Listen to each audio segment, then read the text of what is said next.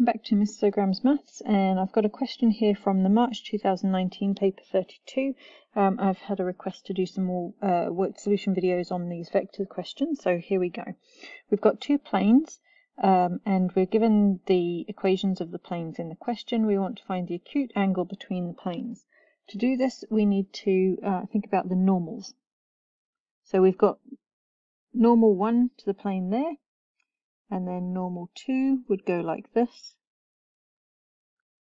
So to find the angle between the planes, we're talking about this angle here. Angle will be 180 minus this angle here, the angle between the normals. So if we call that one theta, we can work out theta using scalar product on the two normal vectors. Um, and those two vectors opposite, uh, angles opposite each other have to add to 180, We've got a 90 degree there, a 90 degree there, and then it makes the quadrilateral. There is a video on how to do this. If you need to go back and find the theory um, that backs this up, you can find that on my channel. The, um, the vectors for the normals to those two planes straight off of the equations of the planes here, just by reading the coefficients of x, y, and z to make those. And then we will um, use the scalar product to find cos theta for the angle between those two. So if we start off with doing the scalar product or dot product of those two vectors, then we will get the answer of minus 5. And then we'll just need to get the modulus of those two vectors as well. So the modulus of n1 is to do the square root of 2 squared plus 3 squared plus minus 1 squared. And that gives us an answer of root 14.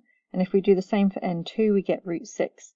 Then pop that back into the um, equation that we had up at the top here, and we'll get that cos theta equals minus 5, so the scalar product, divided by the product of the moduli um, to give us this number here. And then we can go, that theta is then going to be, if we do inverse cos on that, we'll get 123.1 degrees. And final check, that does give us the angle between the uh, normals. So now we need to find the acute angle between the planes. So if that's the angle between the normals, we do 180 minus that and we'll get the angle between the planes and then just double check you've got the acute one. If you didn't, you just subtract it from 180 again. So here we've got the acute angle is 56.9 degrees. Equation uh, of this question asks us to find the vector equation for the line of intersection of the plane. So it's the vector equation for this line here where those two planes cross. Now what we need is to find a point that sits on that line and then a vector that goes in the direction of that line. Now we can get the direct uh, the direction vector fairly easily. If we do the vector product of the two normals, that will go off in the same direction as, as the, the one that we're looking for. Um, it will be normal to both of those vectors, which is what this line will be. So it will go in the same direction and we can use vector product to find it. So to do that, we're going to take our two normals and work out the vector product on them. Carrying that on, we get 1 minus 3 minus 7. That is the direction vector of the line that we're looking for, the line of intersection. Now we need to find the point on, or a point that is on that line. So if we can find a point that's on both um, planes, then we will have a point that's on the intersection of them. So we do this by choosing a variable, set a, set a value for it, and then solve simultaneously to find out what the other two variables will need to be when that variable um, is what you've chosen for it. Choose any value you like. Um, it does make things easier if you can um, make one of them equal to 0 or maybe equal to 1 um, if the 0 doesn't work out nicely. But I'm going to um, find out what happens when x is equal to 0. So if if we take the value of um, x being 0, we're left with 3y minus z equals 1 and minus 2y plus z equals 3. Now if I add together those two equations, I will eliminate the z and we'll end up with y equals 4.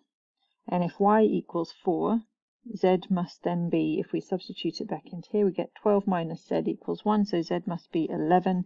And just a quick check that it works on the other one as well. So the point 0, 4, 11 is on the line. All answers that you could find for that one. Um, you can have a different answer to what's on, on the mark scheme as long as it is a point that is on both of the planes. And you can just double check, substitute it back into the equations if you're not sure, and just to make, make certain that you have something that's on both planes. So now we have a point that's on both the planes, therefore it's on the, the line of intersection, and we have a direction that that line goes into, goes along over here.